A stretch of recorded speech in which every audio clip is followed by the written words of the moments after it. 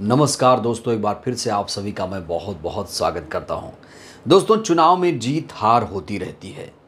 लेकिन असली नेता वही है जो अपने हार के कारणों की सच्चाई का पता लगा सके।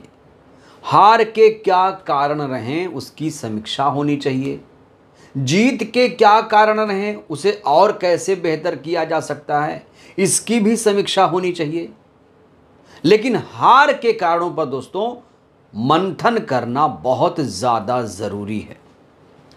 दोस्तों, आज हम आपको इस वीडियो में बीएसपी के वोट शेयर की बात करने वाले हैं कि बीएसपी आखिर कैसे 2014 के दौर में चली गई। क्या कारण हो सकते हैं? दोस्तों, बीएसपी के हार के बहुत सारे कारण हैं। कुछ कारणों पर हम भी चर्चा करेंगे। लेकिन दोस्तों, इस चुनाव नतीजे के बाद एक बात तो तय हो चुकी है, जिसे आप सभी को भी मानना चाहिए कि बीएसपी पर जो लेबल लगाया जा रहा था, कि बीएसपी बीजेपी की बी टीम है, वो दोस्तों यहाँ पर नज़र नहीं आया। वो एक कहा जा रहा है कि भाई एक पार्टी को बदनाम करने की कोशिश थी। और देखिए दोस्तों, मुझे भी ऐसा लगता है कि किसी भी नेता को किसी भी पार्टी को कम से कम बी टीम नहीं कहना चाहिए। किसी पार्टी की कोई अपनी मजबूरी होगी, कोई पार्टी किस मजबूरी में है, कौन जानता है? एक शेर भी है कि कोई तो मजबूरियाँ रही होंगी, यूँ ही कोई बेवफा नहीं होता। और मायावती जी दोस्तों, लगातार कहती रही कि भाई हम तो इंडिया में नहीं आएँगे, हम तो गठबंधन नहीं करेंगे, गठबंधन करेंगे तो वोट नहीं ट्रांसफ़र होगा। अब मायावती जी के इन्हीं कारणों को लेकर सोशल मीडिया में भी लोग तमाम तरह की चर्चा कर रहे हैं। खैर दोस्तों, जो हारता है उसकी आलोचना तो होती है और इस समय बसपा की भी आलोचना हो रही है। तो एक बात रिज़ल्ट से तय है कि भाई, जो बीजेपी 400 पार का सपना देख रही थी, पूरे देश में वो 240 पर सिमट गई। दोस्तों, बड़ी खबर क्या है? बड़ी खबर यह है कि भारतीय जनता पार्टी बहुमत नहीं हासिल कर पाई। शर्मनाक हार हुई है। जब एनडीए बनाएँगे, जोड़ तोड़ करके तब जाकर ये दो पार कर पाएँगे। तब भी ये 300 के अंदर सिमटे हुए हैं। पूरी की पूरी एनडीए, दोस्तों 300 के अंदर सिमट गई है और उत्तर प्रदेश में भारतीय जनता पार्टी 80 सीटों का सपना देख रही थी। वो भारतीय जनता पार्टी उत्तर प्रदेश में 40 सीटों के अंदर, दोस्तों, सिमट कर रह गई है। बहुत बड़ी बात है, दोस्तों। नतीजे बहुत सारी चीज़ों की तरफ़ इशारा कर रहे हैं। जो हारे हैं, मैं फिर कहता हूँ, उन्हें मंथन करना होगा। और मायावती जी को भी इस समय मंथन करना होगा। सिर्फ़ मंथन से काम नहीं बनेगा। उन्हें दोस्तों, जो कारण है, असली कारण, वहाँ तक पहुँचना पड़ेगा। देखिए, बहन जी दूरदर्शी नेता है, बड़ी नेता है। और बहन जी का अभी भी लोग सम्मान करते हैं, ऐसा नहीं है। जीत हार लगी रहती है। चौदह में भी ज़ीरो आया, उन्नीस में दस आया था। इस बार ज़ीरो आया। तो चलिए अगली बार सबक लिया जाएगा, फिर से होंगी रिवाइव होंगी, और नहीं होंगी तो खुद झेलेंगी। नहीं होंगी तो खुद झेलेंगी। वोट शेयर कितना इस पर पहले बात करते हैं दोस्तों, उसके बाद चर्चा को आगे बढ़ाएँगे। क्यों हारी मायावती जी, वो तो चर्चा करेंगे ही, साथ ही साथ वोट शेयर की बात करते हैं। चलिए यूपी में सबसे पहले नज़र दौड़ाते हैं दोस्तों। उत्तर प्रदेश की मैं बात करूँ तो भारतीय जनता पार्टी को उत्तर प्रदेश में इकतालीस प्रतिशत वोट मिला है। वहीं समाजवादी पार्टी को दोस्तों करीब करीब साढ़े तैंतीस परसेंट वोट शेयर हासिल हुआ है। इंडियन नेशनल कांग्रेस यानी कांग्रेस पार्टी को नौ दशमलव चार छः फ़ीसदी वोट शेयर हासिल हुआ है। वहीं दोस्तों, अगर मैं बीएसपी की बात करूँ तो बीएसपी इस बार नौ दशमलव तीन नौ प्रतिशत वोट शेयर हासिल किया है बीएसपी ने। इसका मतलब क्या हुआ? इसका मतलब ये हुआ कि बीएसपी का जो वोट शेयर तेरह परसेंट, उन्नीस परसेंट पे था, वो दोस्तों सीधे सीधे घट गया। अगर मैं आपको विधानसभा के चुनाव की बात करूँ दोस्तों, विधानसभा में इनका वोट शेयर तेरह परसेंट था। 2019 में 19 परसेंट था। अब 19 परसेंट से आप देखिए तो मायावती जी का वोट शेयर 10 परसेंट घट गया। और अब देखिए, एक चीज़ मैं आपको बताना चाहता हूँ। दोस्तों, यहाँ पर एक चीज़ मैं रेखांकित करना चाहता हूँ। हो सकता है आप लोग इससे सहमत होंगे। अब राजनीति उस तरह की नहीं रही कि आप किसी विशेष जाति समुदाय के लिए काम करें। आप मुसलमानों की पार्टी बने, आप दलितों की पार्टी बने, अब ये नहीं चलने वाला है। दोस्तों, मुझे ऐसा लग रहा है कि इस तरह की राजनीति में अब कोई पार्टी आगे नहीं बढ़ पाएगी। अब देखिए, चंद्रशेखर ने क्या किया नगीना में? नगीना में चंद्रशेखर को वोट मिला। दलित मुसलमान सारे तबके ने उन्हें वोट किया। डेढ़ लाख वोटों से उन्होंने जीत हासिल कर ली।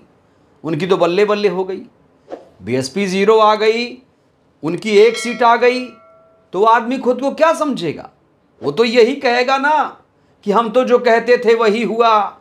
बहन जी डर रही हैं, बहन जी सड़क पर नहीं निकल रही हैं, संघर्ष नहीं कर रही हैं, यही तो कहा जाएगा। और कहा जा रहा है, और यही कहा जा रहा है।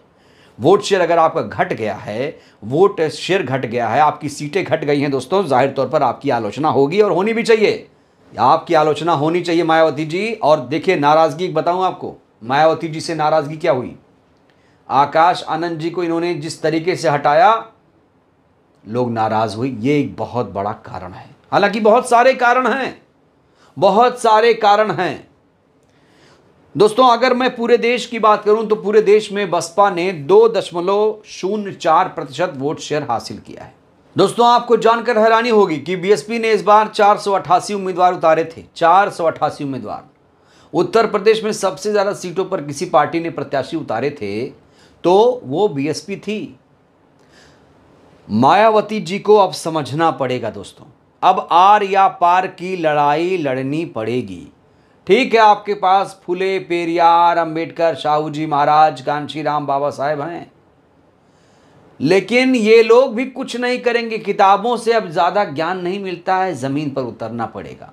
बहन जी, अगर आप अभी नहीं संभली तो सत्ताईस के लिए आपके लिए बहुत ज़्यादा मुश्किल हो जाएगी। हालाँकि दोस्तों, मैं कौन होता हूँ किसी को बताने के लिए? मैं तो आप लोगों से बात कर रहा हूँ।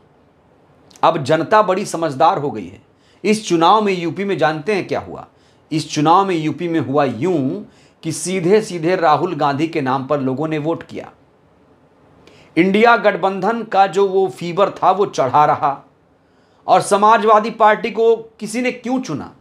अगर समाजवादी पार्टी सैंतीस अड़तीस सीटें उत्तर प्रदेश में ला रही है तो इसका मतलब आप समझ पा रहे हैं। क्यों? समाजवादी पार्टी क्यों? वो थोड़ी सेंटर में जाएगी।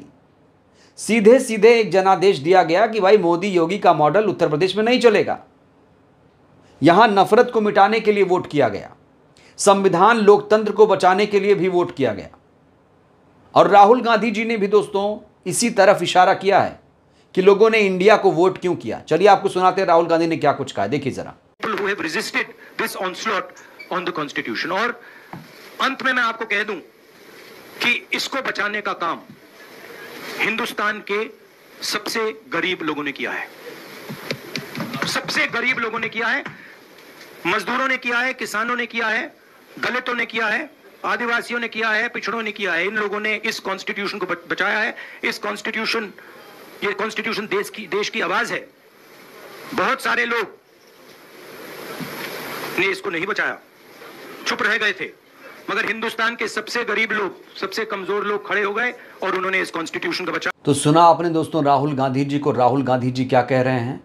कि लोगों ने संविधान लोकतंत्र बचाने के लिए वोट किया।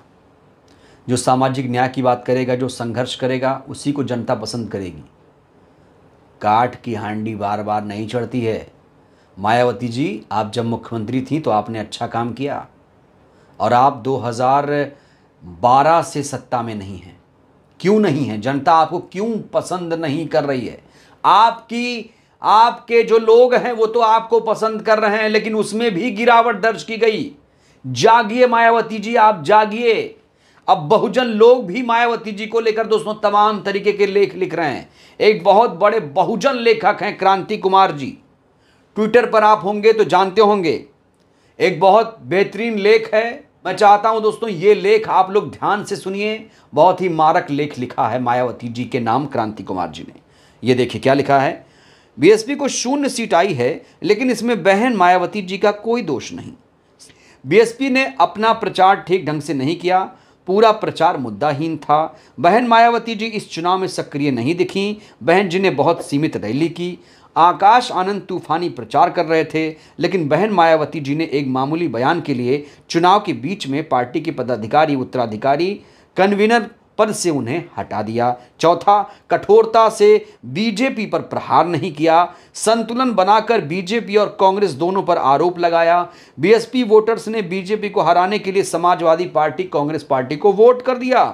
बीएसपी ने आज तक अपने सोशल मीडिया नेटवर्क को एक्टिव नहीं किया, जबकि एसपी और कांग्रेस सोशल मीडिया पर बहुत ज़्यादा एक्टिव दिखे। तो दोस्तों, ये पाँच कारण ये पाँच कारण क्रांति कुमार बता रहे हैं। ऐसे कई सारे बहुजन एक्टिविस्ट हैं जो मायावती जी को जगा रहे हैं, सलाह दे रहे हैं। हालाँकि कुछ अंधभक्त चले आएँगे और कहेंगे, आप लोग मायावती जी को सलाह दोगे? आप लोग कौन होते हो? दोस्तों, ये जो अंधभक्ति है, ये खतरनाक है। अगर आप किसी पार्टी विशेष या नेता विशेष की अंधभक्ति कर रहे हैं तो ये खतरनाक है। दोस्तों, खबर, हमारा काम है खबर दिखाना। जब कोई खबर आएगी तो आपको दिखाऊँगा। जो कुछ दिखेगा, मैं आपको दिखाऊँगा। लेकिन नेता आगे तभी बढ़ेगा जब वो अपनी गलती से सीखेगा। मायावती जी ने क्या इस चुनाव में कोई गलती नहीं की? अगर नहीं की तो कैसे हार गई? और गलती की है तो उसे पकड़ना पड़ेगा। उसे समझना पड़ेगा, मायावती जी। अकेले आप क्या करेंगी? उम्र के इस पड़ाव में आ गई हैं। अकेले आप बीएसपी को कैसे संभालेंगी? संगठन और कैसे मज़बूत होगा? आप लोग सोशल मीडिया पे तो दिखते नहीं हैं। आप लाइव नहीं करती हैं। आप ट्वीट नहीं करती हैं। बीजेपी पर प्रहार नहीं करती हैं। समाजवादी पार्टी और कांग्रेस पार्टी पर प्रहार करती हैं। जबकि आपको इससे बचना चाहिए था, जिससे बीजेपी को और ज़्यादा नुकसान हो। तो दोस्तों, बहुत सारे कारण हैं। हो सकता है आप लोगों को मेरी बात बुरी लग जाए, लेकिन मैं सच बोल रहा हूँ और सच बहुत कड़वा होता है। मैं चाहूँ तो आपको अच्छी अच्छी बातें करके चला जाऊँ, लेकिन दोस्तों, ज़रूरी है आप लोगों को जागरूक करना। दोस्तों, मायावती जी ने गठबंधन ना करने को लेकर क्या कहा था कि हम गठबंधन करते हैं तो वोट ट्रांसफ़र नहीं होता है। मतलब कि अगर समाजवादी पार्टी से गठबंधन करेंगी तो समाजवादी पार्टी के जो वोटर हैं, इनको वोट नहीं करेंगे। लेकिन ऐसा नहीं है, दोस्तों। सारे विशेषज्ञ जानकार कहते हैं, ऐसा नहीं है। ये जो कारण मायावती जी समझ रही हैं, इन कारणों में ही दिक्कत है। उन्हें इस कारण को फिर से समीक्षा करनी चाहिए। बहरहाल, दोस्तों, इस वीडियो में इतना ही। तो दोस्तों, मायावती जी का वोट प्रतिशत भी गिर गया है। फिर से वो 2014 के मोड में चली गई हैं। अब क्या करेंगी मायावती जी? क्या करना चाहिए मायावती जी को? अपनी प्रतिक्रिया दोस्तों आप दीजिए। मायावती जी को कोई सलाह देना चाहते हैं तो मायावती जी को सलाह दीजिए। हो सकता है उनके लोग आपका वीडियो देखकर आपका सलाह देकर कुछ सीखें। बहुत बहुत धन्यवाद, शुक्रिया।